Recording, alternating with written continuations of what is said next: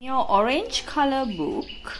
First page පළවෙනි පිටුවේ අපි letter A B C D E කියන letters පහම clay වලින් ඒක අපි කියනවා mold කරනවා කියලා අඹනවා. Clay වලින් අඹලා අපි මේකේ paste කරනවා අලවනවා.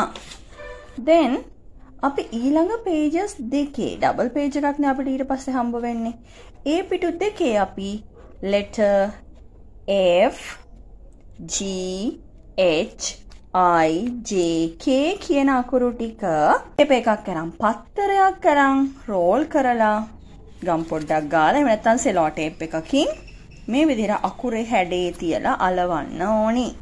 then next two pages ඊළඟ පිටු දෙකේ wool thread එකක්. ඒ කියන්නේ wool නූලක් අරගෙන L M N O P Q කියන letters ටික අලවන්න ඕනි අකුරේ හැඩේට.